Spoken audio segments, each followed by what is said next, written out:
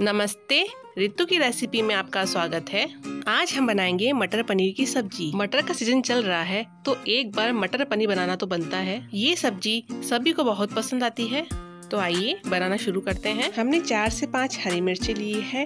एक पूरा गिठान लहसुन का लिया है। एक प्याज, चार टमाटर एक इंच अदरक का टुकड़ा और गार्निश के लिए हरा धनिया। इनको हम काट कर तैयार करते हैं। प्याज, टमाटर, मिर्ची और अदरक को हमने छोटे टुकड़ों में काट लिया है। मटर को हमने छिल लिया है। हमने एक छोटी कटोरी के लगभग मटर लिए हैं। दूध तो हमारे घर में रोज आता है। बस उसकी मलाई निकाल लीजिए। हम किसी क्रीम का यूज़ नहीं करेंगे। हम सिंपली मलाई डालेंगे। अब हम मसाला पीस लेते हैं। मिक्सी के जार में लहसुन, हरी मिर्च, प्याज, अदरक और आठ दस काली मिर्च थोड़ा सा पानी मिलाकर इसका महीन पेस्ट बना लेंगे। मटर पनीर की ये सबसे आसान रेसिपी है और इसका टेस्ट ऐसा है कि हर कोई आपकी तारीफ़ करेगा। हमारा पेस्ट बनकर तैयार हो चुका है।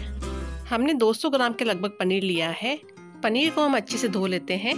पनीर हमने बाहर से मंगवाया है। इसीलिए इसे धोना बहुत ज़रूरी है। इसे दोनों तरफ़ से अच्छे से साफ़ कर लेंगे। अगर आप घर का बना हुआ पनीर काम में लेते हैं तो उसे धोने की ज़रूरत नहीं है। अब पनीर को पानी से बाहर निकाल देते हैं। अब थोड़ी देर के लिए पनीर को ऐसे ही रख देंगे, ताकि इसका पानी अच्छे से निकल जाए। अगर आपके पनीर में पानी रहता है तो एक कॉटन के कपड़े में पनीर को लपेट कर पाँच से दस मिनट के लिए रख सकते हैं। अब पनीर को काट लेते हैं। पनीर को हमने आधा आधा इंच के टुकड़ों में काट लिया है। इस तरह पनीर को छोटे छोटे चौकोर पीस में काट लेंगे।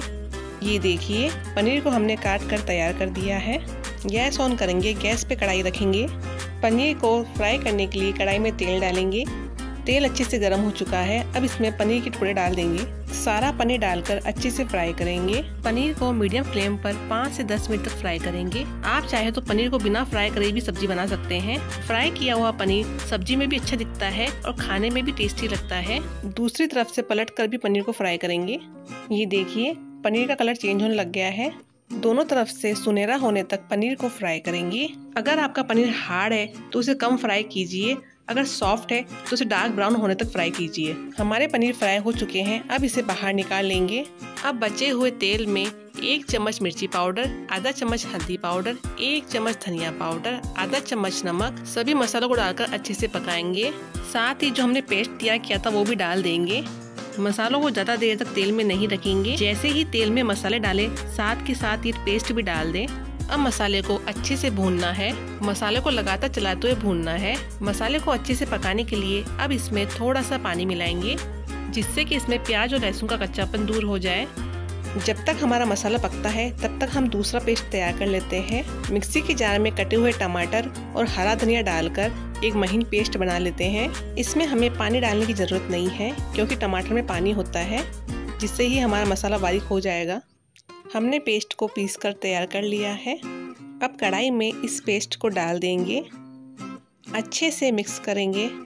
अब इसे पाँच से दस मिनट तक अच्छे से भूनेंगे।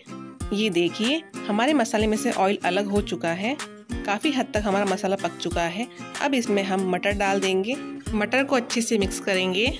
मटर डालकर मसाले को पाँच मिनट तक और पकाएँगे। मेरे इस तरीके से एक बार आप मटर पनीर बनाओगे तो बाहर का मटर पनीर खाना छोड़ दोगे। पाँच मिनट हो चुके हैं। हमारे मटर काफ़ी हद तक सॉफ्ट हो चुके हैं। अब इसमें हम डालेंगे पनीर।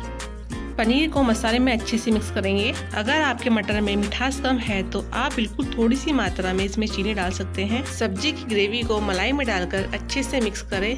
गरम ग्रेवी डालने से हमारी मलाई अच्छे से सॉफ्ट हो जाएगी। ये देखिए, हमारी मलाई अच्छे से पिघल चुकी है।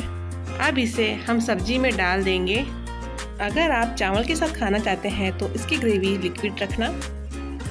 आपको अगर रोटी के साथ खाना पसंद है तो इसकी ग्रेवी गाढ़ी ही रखना। एक उबाल आने तक सब्ज़ी को अच्छे से पकाएँगे। देखिए, हमारी सब्ज़ी में कितना अच्छा कलर आया है। हमारी सब्ज़ी में कितने कम मसाले लगे हैं। कम मसालों में ही हमारी शानदार मटर पनीर की सब्ज़ी बनकर तैयार हो चुकी है। नान, चपाती, पराठे आप किसी के साथ में भी ये खा सकते हैं। ये सभी के साथ ही बहुत ही स्वादिष्ट लगती है। एक बार मेरे इस तरीके से आप मटर पनीर की सब्ज़ी बनाकर ज़रूर देखना। आपको मेरी रेसिपी कैसी लगी, मुझे कमेंट करके ज़रूर बताना और मेरे चैनल को लाइक करना, शेयर करना, सब्सक्राइब करना।